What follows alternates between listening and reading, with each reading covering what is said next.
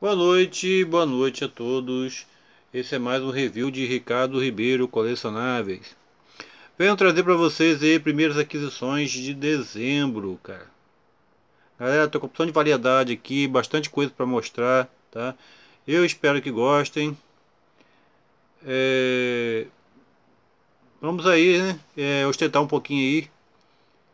Dessa terceiro saiu, então correr atrás das novidades, tá? E vale lembrar que ano que vem, tá? Cheguei a comentar, já tem data prevista, 22 de abril. Goitanime, tá? Comprei meu ingresso, tá? Tô abrindo o ingresso, o ingresso tá na mão.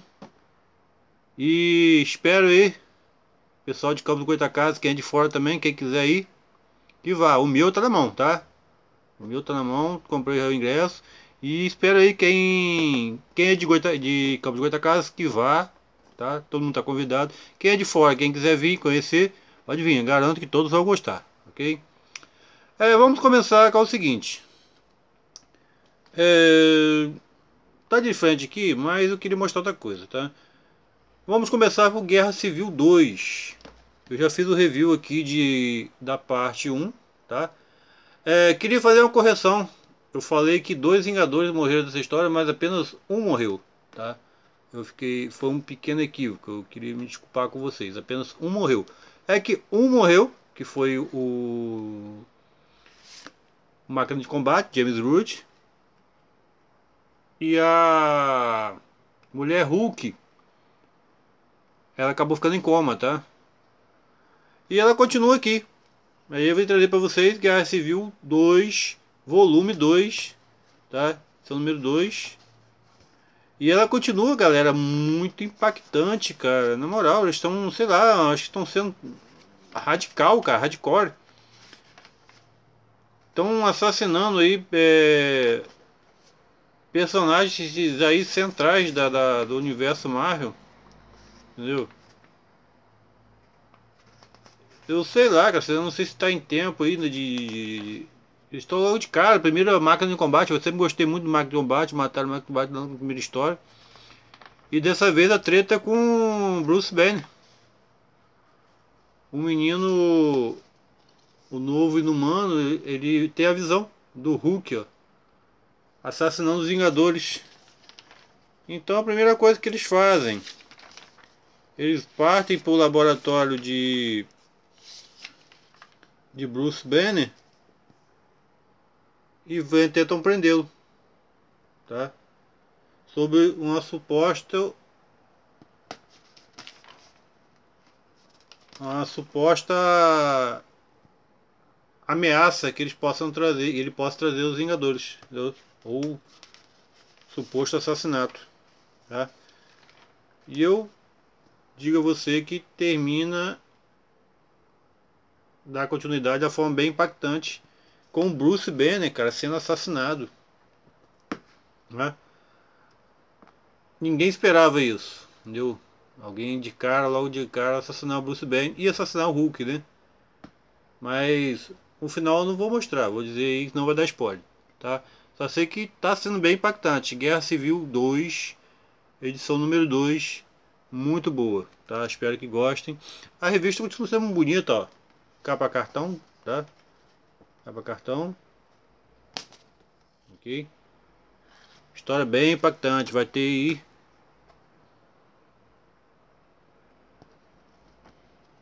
Bastante. Ó, desenho de David Marks e roteiro de Brian Michael Bates, tá? Vai ter bastante repercussão, tá? Na continuação, ok? Guerra Civil 2, edição número 2 ok? Continuando, é, consegui esse aqui, ó, mais uma série, um cadenado de Aquaman, tá? De Jeff Jones, Ivan Reis e Joey Prado. Eu cheguei a falar em outra, em outro, em outra review, cara, que Ivan Reis revolucionou e salvou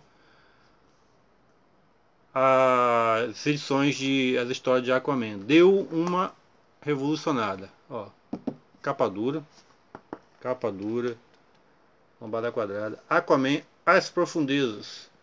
Jeff Jones e Van Reis. Cara, muito boa essa história, muito maneira, tá? Nessa história aparece lá é, criaturas pré-históricas do, da profundeza do mar, tipo uma, é, humanoides. Ó, Jeff Jones roteiros e Van Reis desenhos.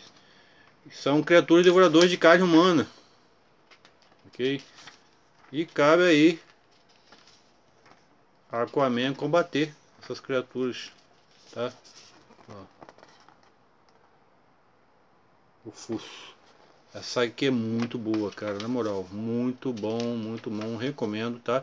Esse é o terceiro encadernado que eu consigo consigo da linha do Aquaman, tá? É, só que tá me faltando é o Reino de Atlântida. Ela saiu nas edições de Universo DC, tá? O Reino de Atlântida, não sei se saiu, o encadernado saiu como Aquaman, o título de Aquaman, ou como Liga da Justiça, tá? Mas é da dos todos os arcos, o que falta para mim que eu tinha, eu consegui é, os outros e a morte de um rei. E tem agora consigo esse aqui, tá? As profundezas. Muito boa, tá? Ivan Reis, recomendo, Ivan Reis deu um, um show e revitalizou as histórias do Aquaman. Ficaram sensacionais. Tá? Melhores que essas aqui, para mim só a história da, na, da Noite Mais Densa. Eu cheguei a mostrar para vocês. Mas eu pretendo mostrar o encadernado ainda. Lançou um encadernado agora muito lindo da Noite Mais Densa. E tem uma participação do Aquaman, cara, muito foda. Ele volta dos mortos. Volta comandando criaturas mortas do mar. Cara, ficou muito foda ok? Aquaman, as profundezas. Continuando aqui, Lenda do Universo DC, Lenda dos Cavaleiros das, do Cavaleiro das Trevas. Essa aqui é a primeira edição tá, de Doom Newton. Primeira que eu compro, eu reconheço, não comprei as outras ainda, tá?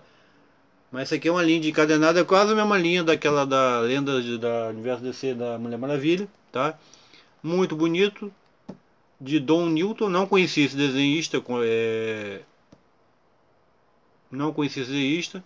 Não tinha acompanhado a arte dele, eu acho que ele vinha na antiga revista do Batman, né? A arte dele, mas eu gostei. Tem uma dinâmica boa, uma arte boa, muito boa, tá? Tem outros em tem Lenda dos Cavaleiros das Trevas. Tem de, de Amparo. Tem de José Garcia Lopes. Tem outros desenhistas, tá? E essas HQs estão saindo com a qualidade muito boa. É, Lombada Quadrada, Lenda dos Cavaleiros das Trevas, Don Newton. Eles são o número 1. Um. Tá? Ó, número 1. Um. DC Comics. Muito boa. Eu tô gostando muito, tá? Qualidade, ó. Isso é capa cartão, tá? Lombada quadrada. Eu achei, gostei muito da, da, da dinâmica do desenhista. Ficou muito boa. Eu só não entendi porque na capa tá é, e o Robin, mas posso ter enganado, mas eu não vi ele na história, tá? Ele não participa da história. Mas muito boa. A dinâmica do, do desenhista, dinâmica da história ficou muito boa. Gostei muito e recomendo, tá? Batman, Lenda dos, do Cavaleiro das Trevas, de Don Newton, volume 1. Muito boa também. É, continuando aqui, Angro Morris, cara. Angro Morris, deu continuidade aqui da Angro Morris. É, Liga da Justiça, Torre de Babel, Ó, lombada quadrada. Ó, já, já vem parte da, da, da, lombada, ó. Já vem. Termina a fase do. do a parte do lanterna verde começa do flash. Tá? A minha lombada da, da, da Igor já vai montando, já continuando. Tá? Esse aqui é o volume 4. Tá? Isso aqui é uma história que. Acho que foi até reproduzida de um, no, na animação. Em que Batman ele sempre possui um arquivo tipo um dossiê de todos os membros da Liga do X, apontando seus pontos fortes e seus pontos fracos. E nisso, o Hanzalgul toma posse desses planos e usa para tentar derrotar a Liga do Justiça, tá? Nesse meio tempo, Batman é, vamos dizer assim, é apontado como traidor, que Hazagul toma posse de seus planos e tenta destruir a Liga da Justiça se apossando disso, tá? Liga da Justiça, Torre de Babel, capa dura, lombada quadrada, muito boa também? A arte, deixa eu ver aqui, não gostei muito da arte, não gostei muito do desenhista aqui, mas a história é boa, de Howard Porter, tá? e o roteiro de Mark Wade. Tá? Tem Dan, Dan Curtis Johnson também hum, na autoria. Muito boa, ok? A história, a história é boa, só o, o artista, roteirista, não curto muito. Ela, anteriormente, ela foi publicada na época da... no finalzinho de abril, né, que tentaram publicar Super-Heróis Prêmios, ok? É, da DC, tá? Eu estava até com ela em mãos aqui, agora há pouco tempo. Mas é da continuidade, tá? Da Igor Moss. Ok? Muito boa.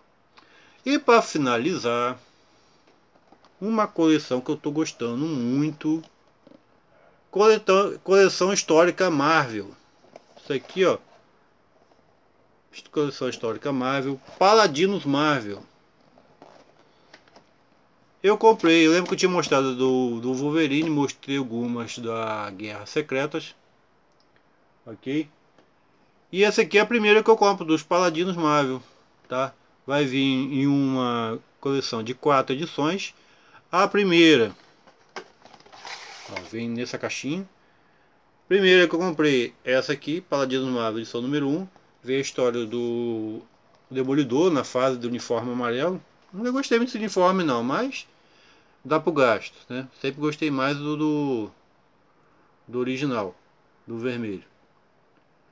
É, essa aqui é a edição número 1, um, tá? Aqui na, na, na, capa da, da caixinha, da venda embalagem, vem, vem indicando, tá? A primeira é com Demolidor, a segunda é com Luke Cage e Punho de Ferro, a terceira é com Cavaleiro da Lua e com a quarta é com o Justiceiro, tá? Espero ainda conseguir fechar, ok? Ó, a caixa aqui, ó, a principal capa aqui, juntando todas elas, elas formam esse painel aqui, ok? Juntando todas as lombadas, ó, ela forma, ela começa com o justiceiro e termina aqui no punho de ferro. Muito bonito, tá?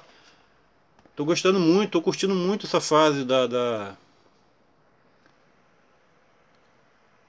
essa fase da coleção histórica Marvel Tá me agradando muito, gostando muito.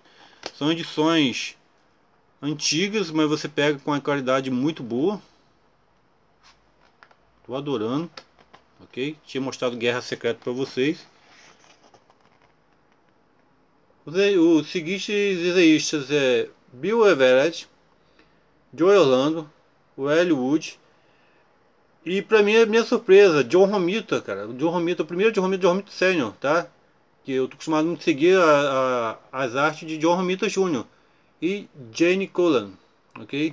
Muito boa, muito bom. Ó, a arte é sensacional, a qualidade da HQ é muito boa. Eu estou curtindo muito essa fase, ok? Então essas aqui são as primeiras aquisições de dezembro, ok? Quem gostou aí, não deixe de dar seu like, para mim é muito importante. Quem não se inscreveu aí, se inscreva, cara. Você vai ser muito bem-vindo. Digo isso a todos. Tá? Fico muito feliz quando tem um novo inscrito no canal aí. Quem gostou aí, dê seu like. Quem não se inscreveu, se inscreva. Desejo a todos aí uma boa noite.